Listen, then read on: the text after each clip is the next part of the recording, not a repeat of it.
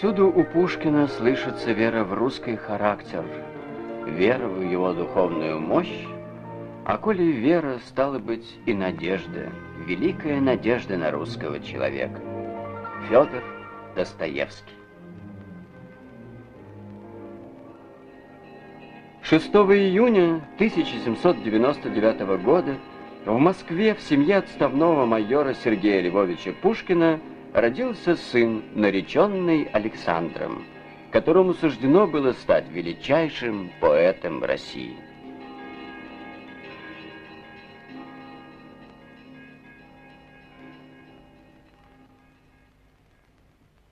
Предки Пушкина впервые упоминаются в русских летописях как сподвижники князя Александра Невского. Отец Сергей Львович Пушкин, мать Надежда Осиповна, внучка знаменитого генерала-аншефа Петра Великого Ганнибала, потомка владетельных эфиопских князей. Такой видел Пушкин Москву в детские годы. Со своим воспитателем, дядькой Никитой Козловым, часто гулял он по городу, наблюдая жизнь московских улиц.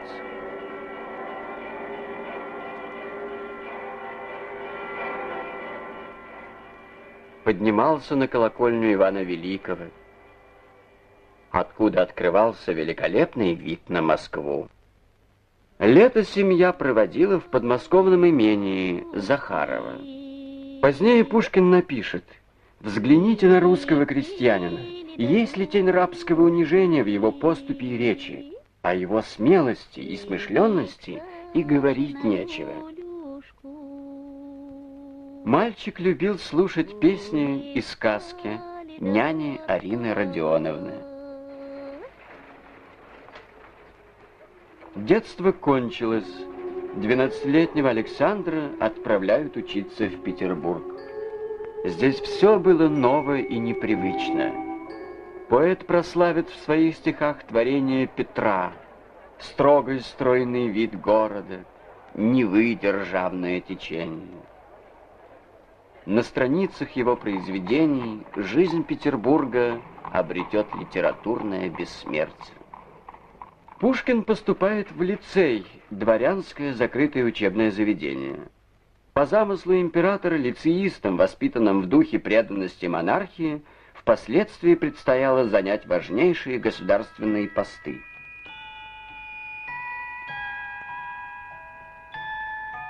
Здесь были собраны лучшие преподавательские силы России.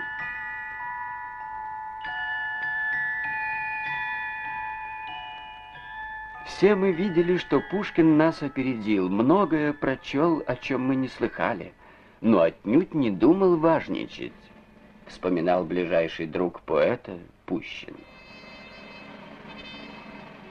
Тесная дружба связывала Александра со многими лицеистами. Пущин, Горчаков, Деревик, Кюхельбекер стали его друзьями на всю жизнь.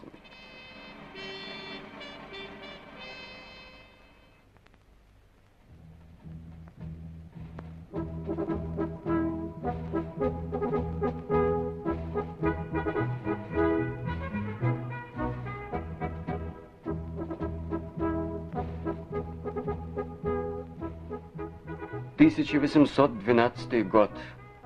Началась народная война с наполеоновским нашествием.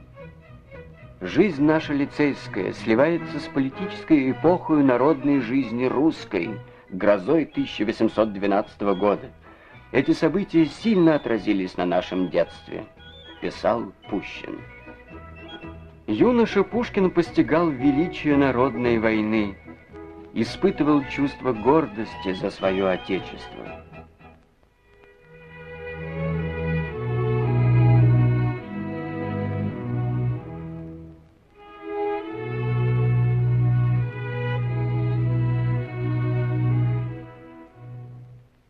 Любимый Пушкиным Царскосельский парк.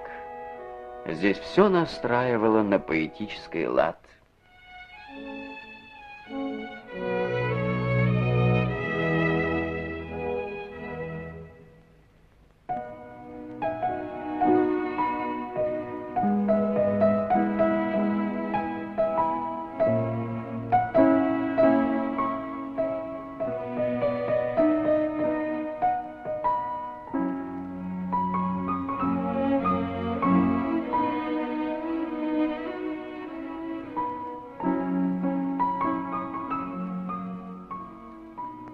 Его главным увлечением стали стихи. В 1814 году впервые опубликовано стихотворение Пушкина к другу-стихотворцу. Комната поэта, свидетельница его первых творческих радостей. Здесь все сохранилось так, как было при жизни Пушкина. 1815 год. На экзамене по словесности присутствует великий русский поэт Державин.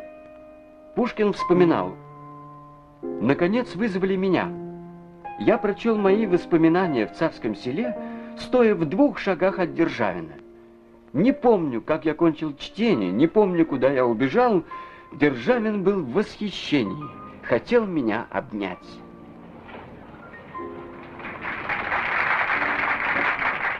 Надеждой русской литературы признали лицеиста крупнейшие писатели Батюшка, Вяземский. Жуковский писал, «Нам надобно соединиться, чтобы помочь вырасти будущему гиганту, который всех нас перерастет». Годы учебы позади, и снова Петербург. Пушкина зачисляют в коллегию иностранных дел, но карьера чиновника его не привлекает.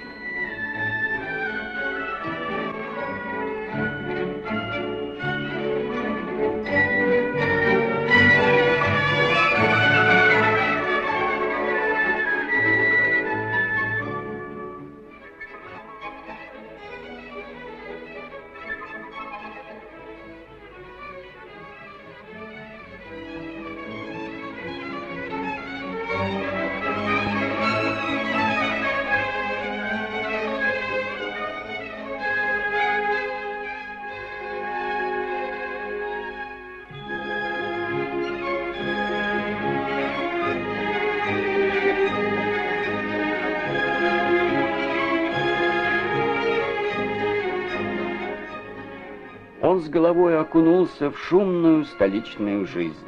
Светские и литературные салоны, театры, балы, веселый и общительный, Пушкин всюду душа общества. Но перед наблюдательным юношей открывался и другой лик России. Бесправие народа, крепостной гнет. Социальные преобразования в стране — цель тайных дворянских обществ. Лучшим людям России было ясно. Народ-победитель должен быть свободен. Выразителем идей дворянских революционеров в поэзии стал Пушкин.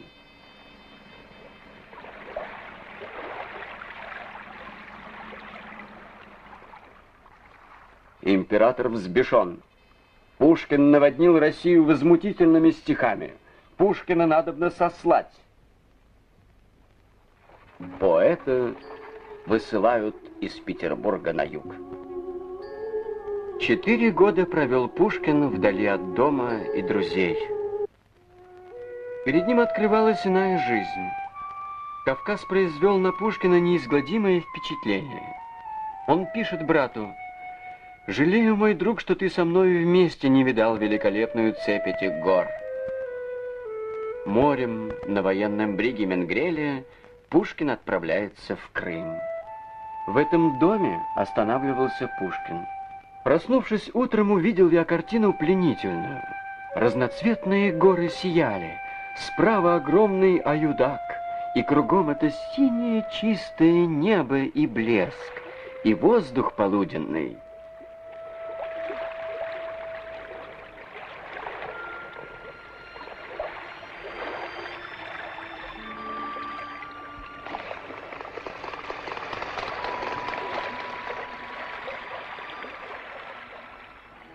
Гурзуфе жил я сиднем, купался в море и объедался виноградом. Я любил, проснувшись ночью, слушать шум моря и заслушивался им целые часы.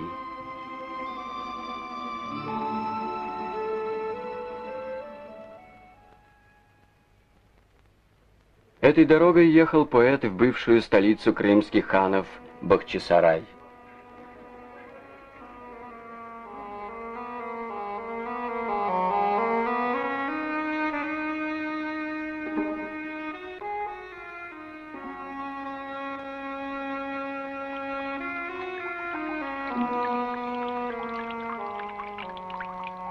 Здесь, при посещении дворца, услышал он легенду о любви хана к молодой пленнице полячки Марии.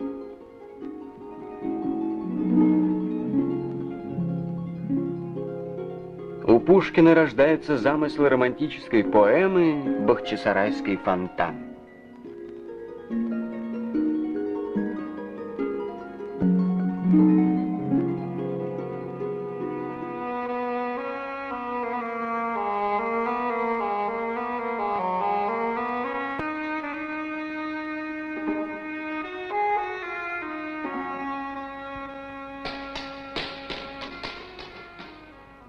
И, наконец, опальный поэт прибывает в Молдавию, в Кишинев, к месту своей высылки.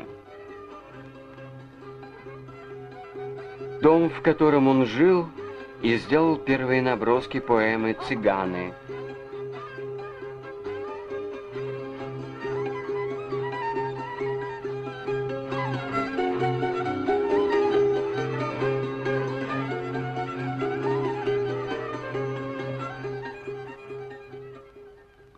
судьба снова свела поэта с молодыми вольнодумцами, членами тайного южного общества дворянских революционеров. Они готовили план вооруженного восстания. Агенты доносили в Петербург, Пушкин ругает публично не только военное начальство, но даже и правительство. По высочайшему приказу за дурное поведение – Поэта высылают в бессрочную ссылку в родовое имение деревню Михайловская Псковской губернии. И снова Пушкин в дороге. Новые люди, новые места, новые впечатления.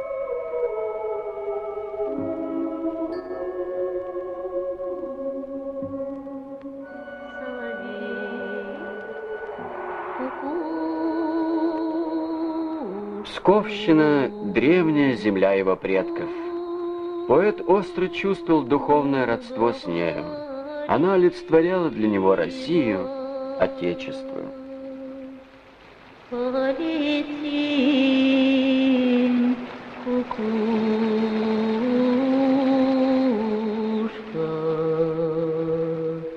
в дальние края. Полетим, куку. Няня моя единственная подруга. С нею с одной мне не скучно. Вечерами слушаю сказки. Что за прелесть эти сказки? Каждая есть поэма. Они легли в основу замечательных пушкинских сказок о царе Салтане, о рыбаке и рыбке, о мертвой царевне и семи богатырях.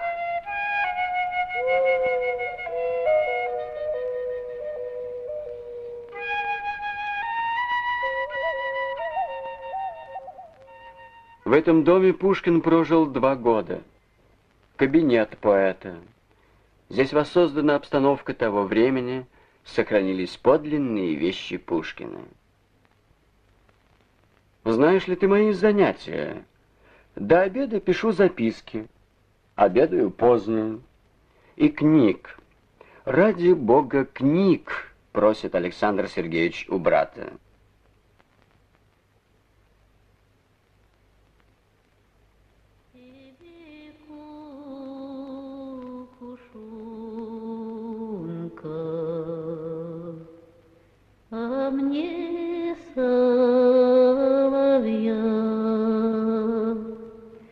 Тебе кукушонка,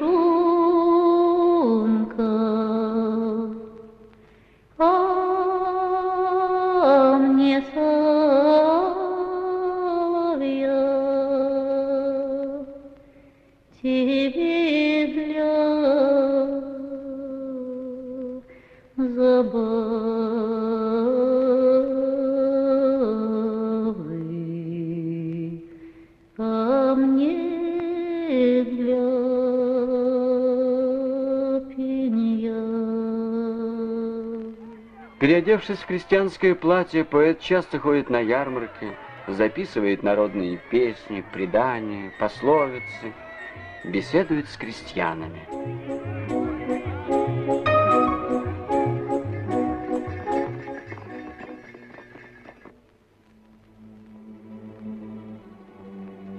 Вблизи Михайловского родовое имение прадеда Пушкина Ганнибала –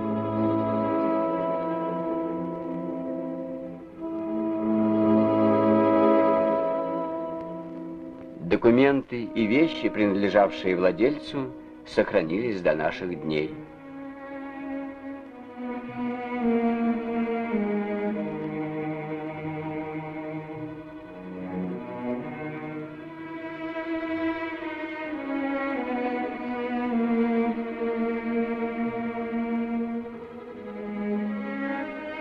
Петровское было пожаловано Ганнибалу императрицей Елизаветой.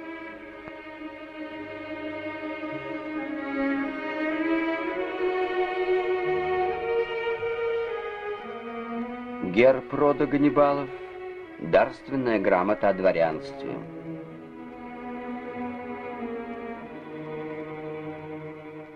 Интерес к истории рода у Пушкина был неотделим от интереса к истории родной страны.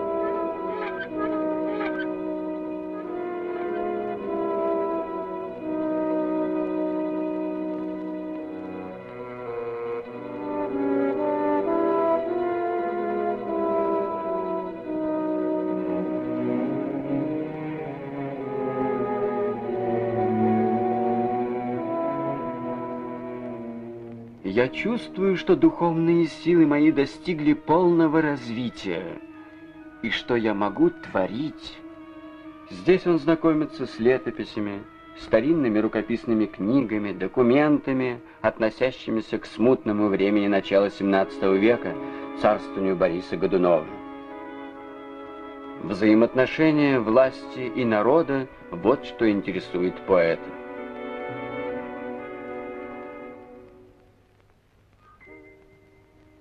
За этим столом написана народная трагедия Борис Годунов, четыре главы романа Евгений Онегин, десятки стихотворений.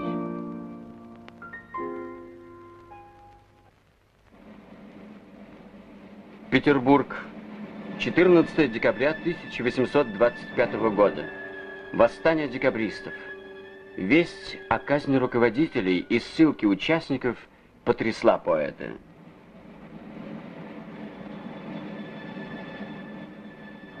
«И я бы мог», — пишет он на полях рукописью. Пушкина вызывают в Москву к новому императору Николаю Первому. Пушкин, принял бы ты участие 14 декабря, если был в Петербурге? Непременно, государь. Все друзья мои были в заговоре, и я бы не мог не участвовать в нем. Желая расположить к себе прославленного поэта, царь вернул Пушкина из ссылки. Зимой 1828 года Пушкин знакомится с Натальей Николаевной Гончаровой. Я полюбил ее, голова у меня закружилась. Осенью 1830 года для устройства дел в связи с предстоящей женитьбой Пушкин едет в Нижегородскую губернию в старинное село Болдино. 30 лет люди обыкновенно женятся. Я поступаю как люди и, вероятно, не буду в том раскаиваться. Горести не удивят меня. Всякая радость будет мне неожиданностью. Осень подходит. Это любимое мое время. Здоровье мое обыкновенно крепнет. Пора моих литературных трудов настает. В Болдино Поэт провел осенние месяцы 1830, 33, 34 годов, и всегда они дарили русской литературе замечательные произведения. Особенно плодотворной была осень 1830 года, три месяца вдохновенного труда.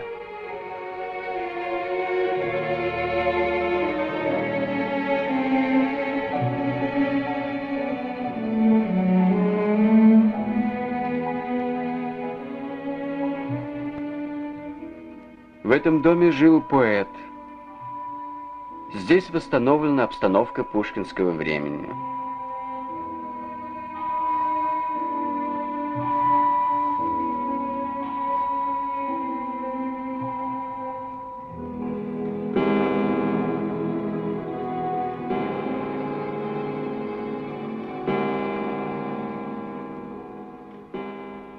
В Болдино поэт закончил многолетний труд – роман в стихах Евгений Онегин. Критика назвала его энциклопедией русской жизни.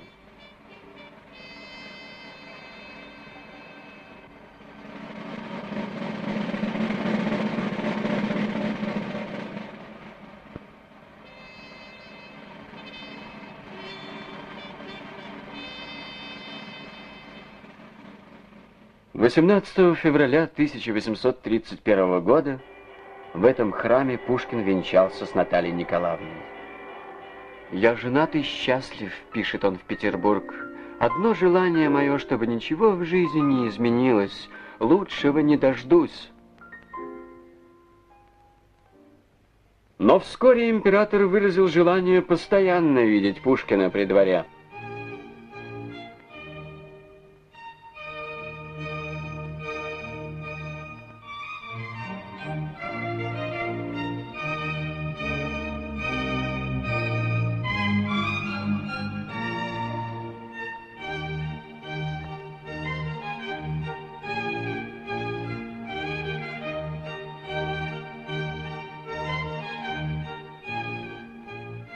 Через два года поэт начинает жаловаться. Петербург совершенно не по мне. У меня нет досуга, необходимого для писателя. Кружусь в свете. Жена моя в большой моде. Но, несмотря ни на что, поэт много работает. Труд был для него святыня. Когда принимался за работу, он успокаивался, вспоминал один из друзей.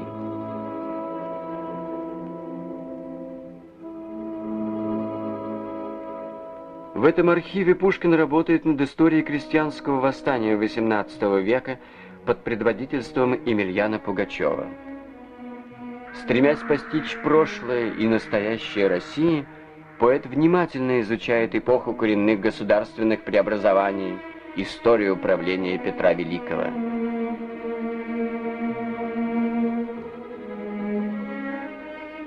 Из-под его пера выходят шедевры «Медный всадник», пиковая дама, капитанская дочка. Пушкин добивается разрешения издавать литературный журнал «Современник», объединяя лучшие творческие силы России. Выступает со статьями как публицист. В них он борется за национальную самобытность, жизненную правду, гражданственность искусства.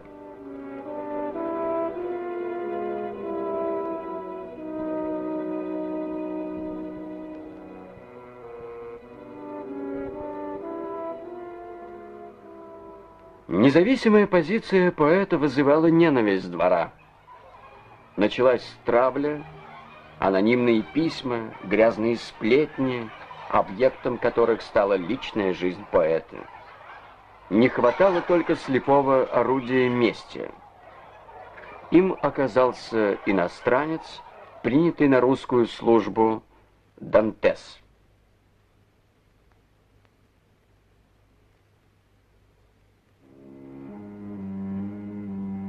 Последняя петербургская квартира Пушкина. Здесь все сохранилось так, как было при жизни поэта.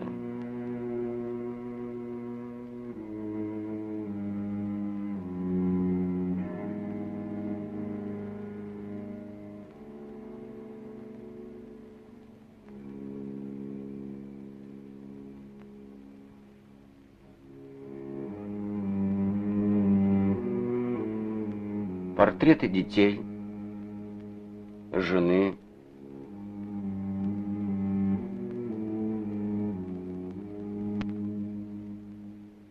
гостиная, где часто собирались друзья, любимые вещи Пушкина.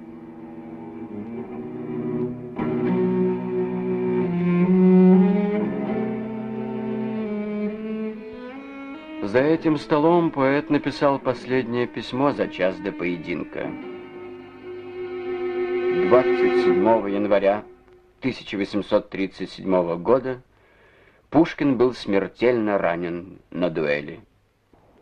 29 января 1837 года в 2 часа 45 минут пополудни перестало биться сердце поэта.